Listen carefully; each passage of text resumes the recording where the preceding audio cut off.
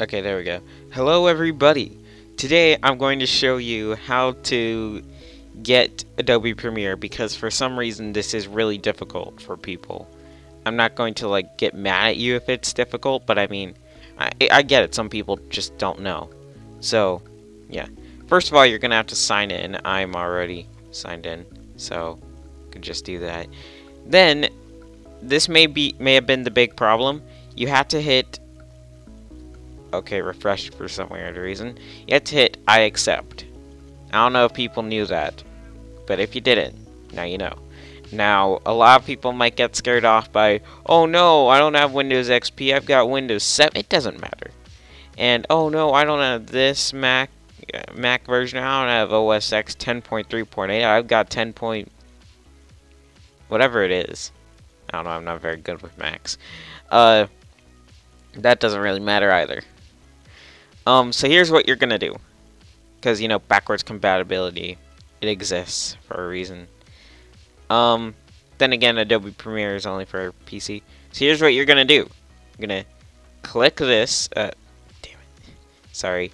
Because thing is, whenever you click somewhere, it retracts back up for some reason. But whatever. Click that. It's gonna retract up. You're going to go to your your downloads. I've already got it, so I don't need to do that. But you're going to hit save. Um, or just it'll save wherever it does. Alright, now you're going to do this. Hit copy. And, for example, like, if you highlight this and then you let go, you may not have time.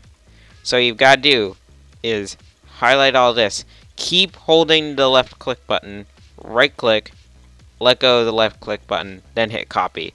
Then it won't retract. Well, it retracted now because I had clicked there. Whatever. Anyways, then what you're going to do is go to your downloads. I've got too much stuff in here. You're going to go to, it'll be called P Pro 2.0, whatever. What you're going to do is you're going to find that file, the zip file. You're going to right click and extract it. Then you're going to go to the folder it got extracted to, go to Premiere Pro 2, go to English, or sorry, no, don't go there.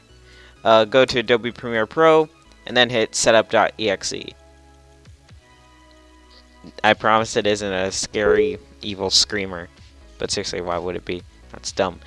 Hit OK, because it'll be English. Hit Next. Accept. Uh, your username Mine is Blue Dude. Then serial number. You're going to hit. You're going to.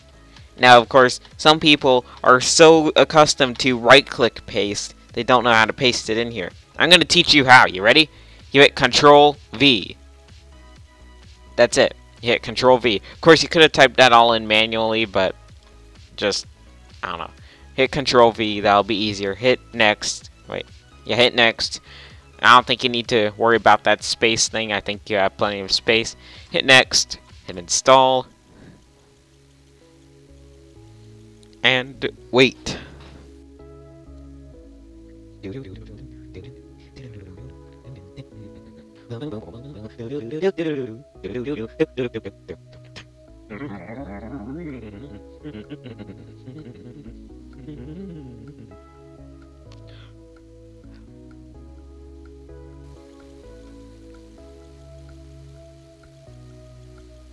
Um, yeah, so now that's done, you're gonna go and open Adobe Premiere.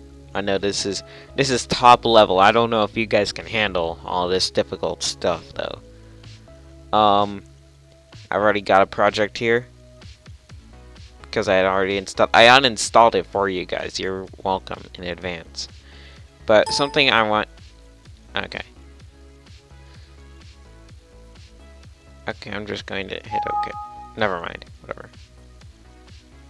Close that. So that's how you do it.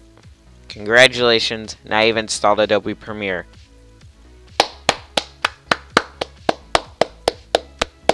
Good job, everybody. Round of applause.